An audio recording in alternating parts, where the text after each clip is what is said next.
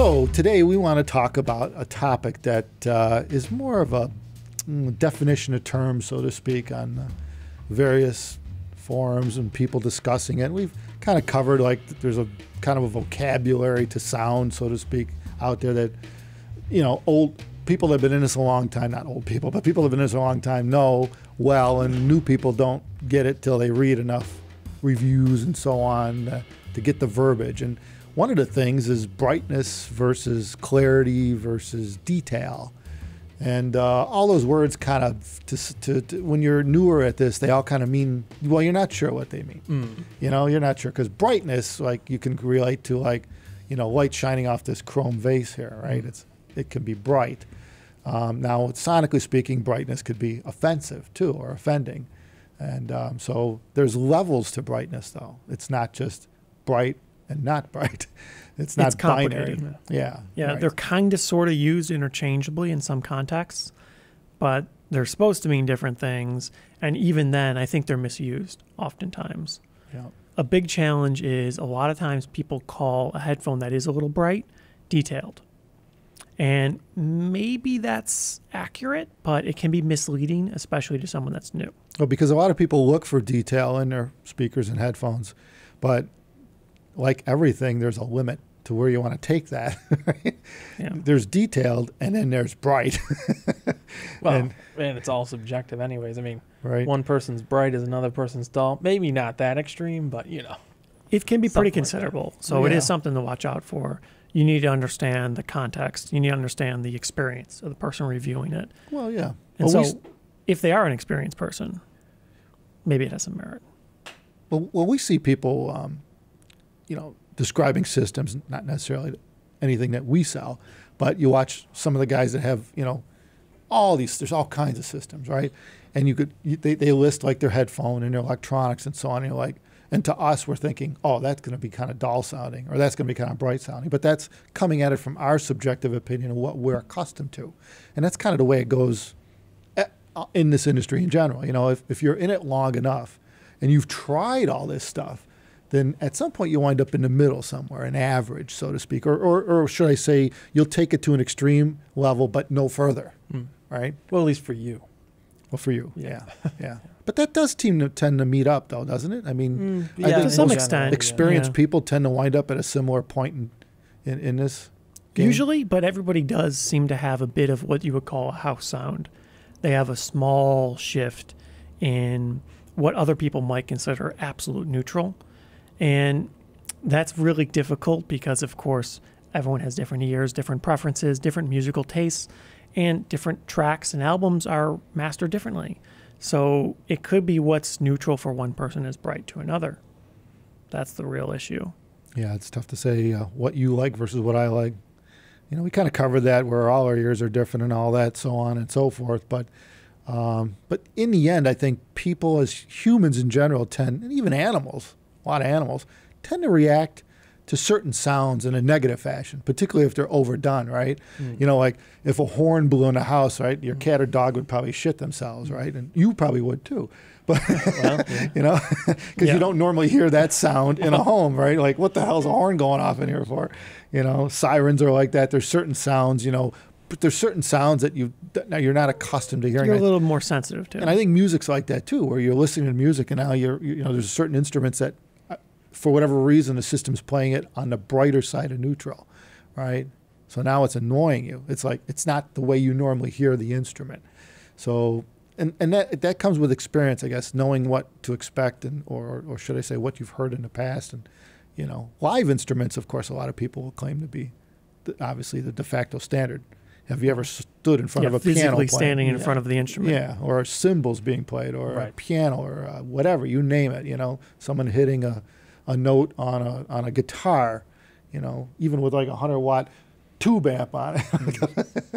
you know, and even that makes a difference, right? Even from the play side, right? You play on this hundred watt Marshall with the Marshall stack bullet. Sounds completely different than your smaller Well, box yeah. with, with with twenty or fifty watts. Hmm. Doesn't even compare. In fact, when you get somebody who's never had a big stack like this, and they plug in, they're like a big smile forms on their Mm. face, going, "Man, I should have got something like this a while ago." And that's kind of the way it is on a playback chain, if you ask me. You know, it's the same thing. To some you- extent. it's not you haven't never experienced it before, therefore you don't really know what to expect. Well, that's true. Yeah, I guess if you never heard anything that you you're just like annoyed with, you wouldn't know that that's your like limit. Yeah, You know, right. you don't don't really know what it is until you're like, Ugh. it's kind of like like a smoke detector going off. Like it's designed to be annoying, right? Yeah. It's just ugh, yeah, loud. it's made to wake your ass up. Yeah, Yeah, but that's a different. Use that's case. different. Yeah. Can you imagine listening to that all day? Uh, yeah, what do you do for a living? Yeah, I, I QC smoke detectors for a oh, living. yeah. Yeah, you It's like an island. calibrate the tone of the smoke detector to be Yeah. as annoying and piercing as possible. Yeah. There was an old show uh, like that with uh, back in the day. I grew up with the Three Stooges, and Yeah, I was gonna say. you know, black and white, where they one they worked in a horn factory, the three of them, and one of them had a nervous breakdown because all day long their job was to squeeze the bulb on a horn like on a bicycle and make sure it worked. that was their job in an assembly line. and one of them had a ner- Moe had a nervous breakdown. He's like, horns to the left of me, horns to the right of me, horns, and he cracked. He just couldn't. They had to take him on a vacation, which turned Mhm. out to be not much of a vacation after all. Classic. Well, another factor to take into consideration is it could be that a headphone is not actually more detailed. It's just appearing more detailed because it seems that most people more or less have a finite amount of perception. You can only really sense so much at a time with your hearing, similar to your vision to some extent. Uh, it just becomes harder to focus on a hundred different things at the same time. So, for the most part, things that are a little bit brighter oftentimes can be considered to be more detailed because usually there's more information physically in higher frequencies. So, it kind of puts an emphasis on those higher frequencies, which makes it a little easier for you to notice them. Doesn't necessarily mean the gear actually is more detailed, and that's a troubled distinction. It could just be that it's more bright than another headphone, which makes it easier for you to notice. Yeah. But to some extent, you could argue that it is more detailed because you notice it here and you don't there. But it's not actually necessarily a difference in the resolving capability. Well, of course, with EQ and stuff like that, you can make things brighter sounding, which gives the perception of greater detail. But the reality of it is, what you're doing is you're shifting the tonal balance of the playback, right? You're, if you accentuate the high frequencies, but not the low frequencies, you know, which is- Yeah. a volume control accentuates all frequencies simultaneously. So Mm. picture per- turning up the volume. Now, versus that versus picking a small region of frequencies like the upper freaks, a lot of tone con- EQ, tone control, bringing that up. Now you're changing the tonal spectrum of the of the playback, and so at some point you'll picture that turning that up to a point where it gets annoying, right? That's bright. That's too bright, right? So that's brightness, and um, so somewhere you've got to strike a, a tonal balance for the recording you're listening to the to the album or the song you're playing. Well, I guess you can come at it from the other angle and reduce the bass until until it's like perceive the highs are. Yeah, in fact, that's one way to, to add Yeah. detail too. If you drop the bass out, then it would, like a headphone that can't do bass well, right? Will sound, will sound more detailed because it doesn't have the spectral balance and the lows to, to balance out the highs. So yes, you get more detail. Yes, you get more. Inf- you can perceive more information, but the reality of it is the spectrum is tilted upward. It's pretty much like in a movie, racking focus from one subject to another, draws your attention away from one to another. It's kind of the same thing, right? It, you could adjust where most people preferentially pay attention. Um, so if you have a ton of bass, a lot of times it's harder for people to see detail. Um, they don't notice it quite as much because there's more going on. Well, the bass overwhelms the, the mids and highs. Yeah, it just takes over, and even with a lot of speakers, that's an issue because it, um, you know, d- depending on the speaker, the design, bass tends to affect mid range a lot, which would be the vocal range and stuff like that. It it masks the detail because the driver's so busy producing 50, 30 to 50 hertz, right, that it's just overwhelming the upper the upper range of the Um, That's why you separate the bass drivers. You know. in a speaker. Yeah, usually. Yeah, in a loudspeaker with multiple drivers.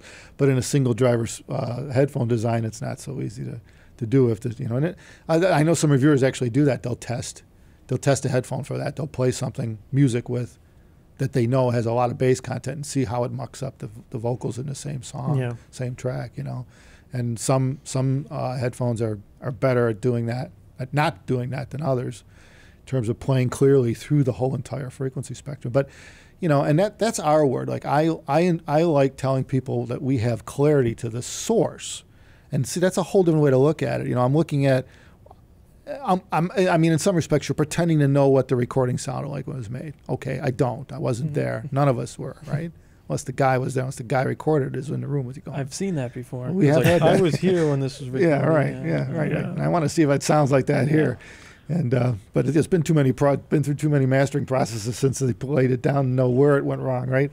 But uh, but yeah, I mean, so but but bottom line is that if you do this long enough, and I mean really with critical listening, uh, at our level, you can reach a point where you can get a a good average of what particularly some tracks do should sound like you know at least what you think they intended to it because you could take it to an extreme in all the various frequency ranges the, the lows the mids the highs through all different systems. Yep, From your car to your speakers to your headphones, you've heard it on everything. yeah. And so you know you know you, and so you're you're assuming you have to assume that the recording is as perfect as could be in the eyes of the mastering and the mixing and all that right? So assuming that you're also assuming then that um, that anything you could draw out of it in terms of listening to every instrument vocals is also if you can get it better without making it sound worse that's probably where the original recording lies. That's that's the sonic character of the original recording.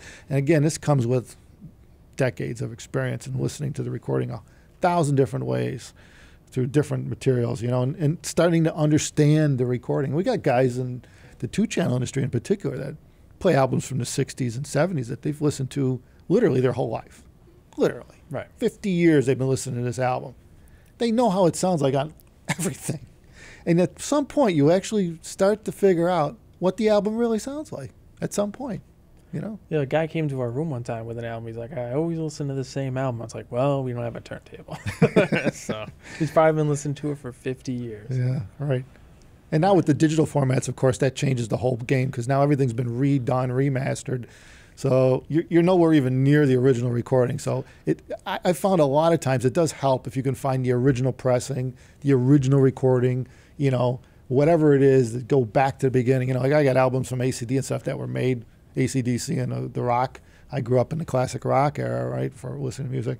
I got albums that I still have at home that I bought then Mhm. those are the originals. That, that it, that's when the song came out, right? It doesn't get any better than that, really, in terms of how this song's been remixed and mastered over the years. And that's kind of a good reference point, you know, because remasters sometimes they're good, sometimes they're not so good.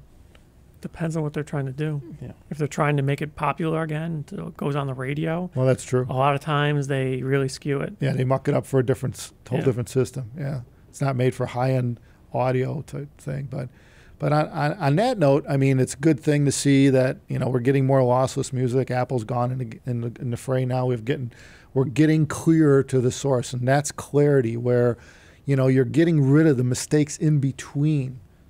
The, whole process that goes from the recording to your ears, eliminating those faults in between is really helpful to get greater clarity to the source.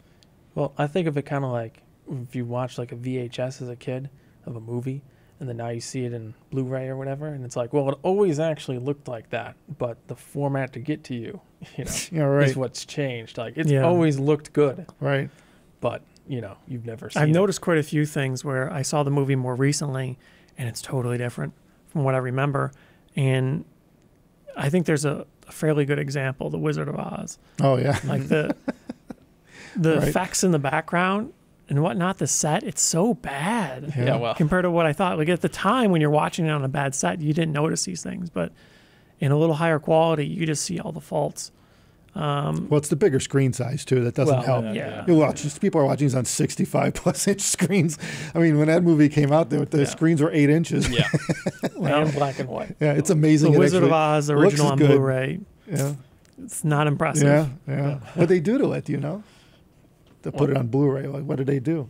Uh, rescan the film. I don't know. That was the original film. Yeah, I assume so. It The only the only reason that show still looks good is because it was done well, Yeah. probably with really good lenses on Well, film. at the time. Well, it doesn't compare to new stuff. Yeah, No, right. no, Modern hear you. productions Yeah. were way better. No, they put you. care into them. As I recall, I think Wizard of Oz was the first Technicolor movie Yeah, So they shot each color on a separate film. RGB. Yeah, so it's actually really good. Yeah, three lenses to make one Yeah. one one photo. You could see how things changed over time, though, because that was made knowing the limitations of the format.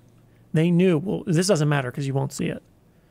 Um, and that happened to some extent in audio. You got to imagine Sure. Oh, to varying absolutely. degrees, right? They Oh, knew, yeah. well, this doesn't really matter. Right. And the attention paid now is more considerable because it has to be. Yeah, because what they were playing back on at the time, Yeah. you'd never hear the mistakes. Yeah. And it wouldn't even come close. I mean, right in the mastering room themselves, when they're putting down, you know, figuring out the final mix, they wouldn't hear any of that stuff. Well, even like in the '60s, like you listen to like '60s recordings, and there's like one mic in a room, and you just hear like echoes and people talking in the background. stuff. You wouldn't hear that in like new stuff. They, Yeah. you know, so But there are some stellar old recordings. yeah, They were done on probably a few microphones, and they, they just paid attention to the chain, and God knows what they were listening to it on to get Yeah. to that.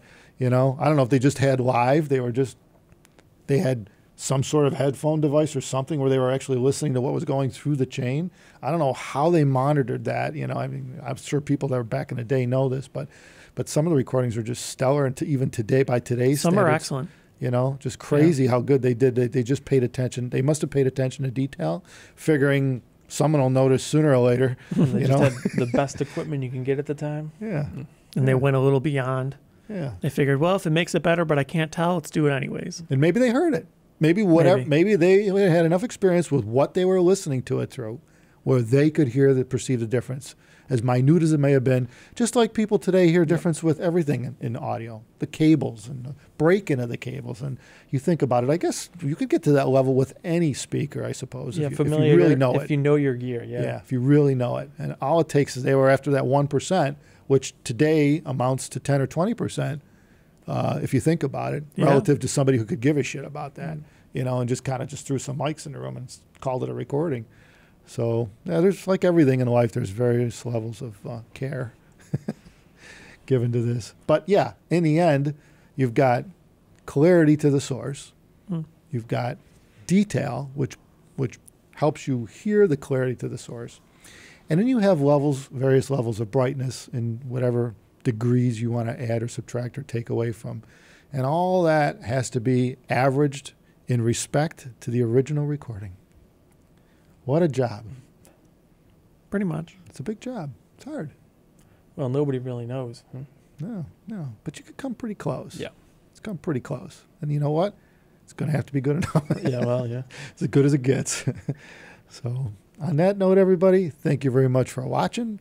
Remember, we got pillows and mugs at abyssstore.com. And um, don't forget that all these videos we do are in podcast form on just about every podcast format. Just, just go ask Siri or take a look at Apple or wherever there's a podcast on this available. So if you're driving and you get bored, have a listen to us. Take care.